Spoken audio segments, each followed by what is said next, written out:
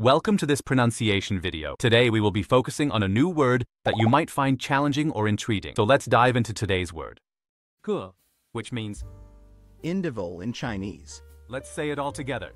"gè, gè, gè." One more time. "gè, gè, gè."